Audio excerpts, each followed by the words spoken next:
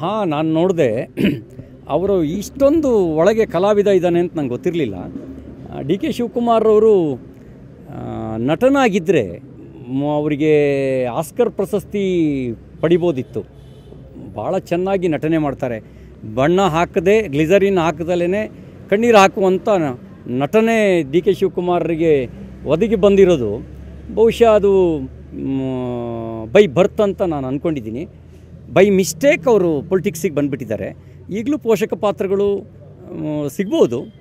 ಈಗ ಹೀರೋ ಆಗೋ ವಯಸ್ಸು ಹೋಗ್ಬಿಟ್ಟಿದೆ. ವಿಲನ್ ಆಗೋಕ್ಕೂ ತಾಕತ್ತು ಇಲ್ದಂಗೆ ಆಗಿಬಿಟ್ಟಿದೆ. ಹಾಗಾಗಿ ಪೋಷಕ ಪಾತ್ರಗಳು ಸಿಗ್ಬೋದು ನಟನಾಗಲಿಕ್ಕೆ. ಅವರಿಗೆ ಈಗ ಯಾವುದೋ ಒಂದು ಕಾಂತಾರ ಒಂದು ಮೂವಿ ರಿಷಬ್ ಶೆಟ್ಟಿಯನ್ನು ನೋಡಿ, ರಿಷಬ್ ಶೆಟ್ಟಿಗೆ ಕಾಂಪಿಟೇಟರ್ ಹುಡ್ಕೊಂಡಿದ್ದಾರೆ. ಅವರಿಗೆ ಅವಕಾಶ ಸಿಗದಂಗೆ ಮಾಡ್ತಾ ಇದ್ದಾರೆ.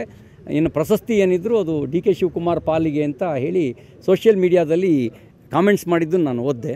ಲೇಟ್ ಆಗಿದೆ, ಆದರೂ ಕೂಡ ಕಡೆಯ ಅವಕಾಶ ಸಿಕ್ಕಿರೂ ಸಿಗ್ಬೋದು. ಒಂದು ಚಾನ್ಸ್ ಟ್ರೈ ಮಾಡೋದು ಒಳ್ಳೆಯದು